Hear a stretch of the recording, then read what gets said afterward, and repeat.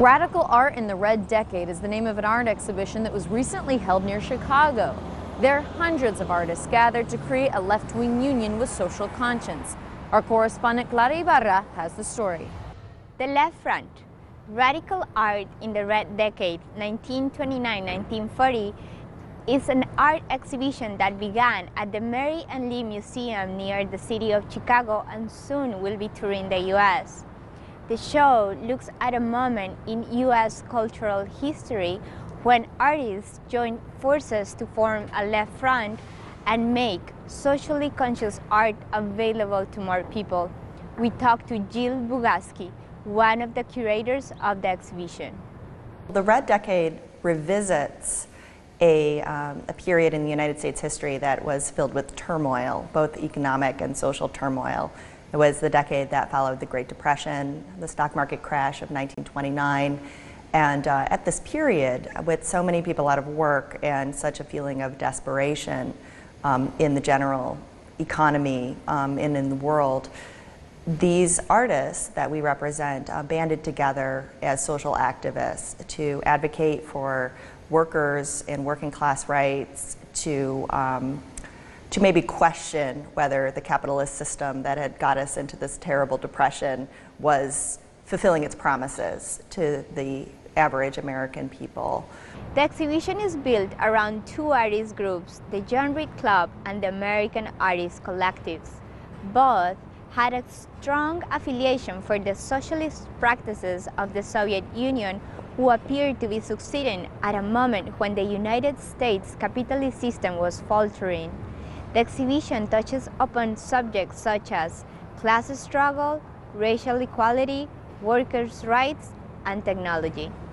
A lot of people don't realize this, but so much of this labor organizing that happened in the 30s and even in the 20s um, is, is what gave us the laws that provided the foundation for prosperity in the post-war period. Things like the eight-hour workday, the uh, child labor laws, um, social security, pensions.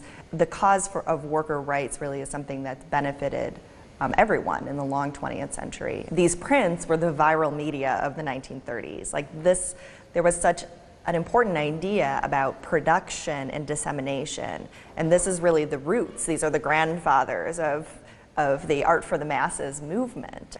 Print democracy was a hugely important question in the 1930s. And these artists sought to make as many prints as possible for a, a really affordable economic price so that they could reach as many people as possible. The issues that were relevant questions in the 1930s recession are still valid today. Now we're facing the second uh, large recession in this country um, since the 1930s and um, these issues I feel like are rearing their heads again. So it's important for the show to, to to look back on this, to look at it in a new frame and to examine some of these questions and these images with an eye to how it can help us think differently about the present moment or what kind of questions do these artworks prompt that might help us get at a better understanding of what's happening now and how to move forward. Like the artists of the Red Decade, Today, social movements in the US continue to use art and technology as their main weapon for social change.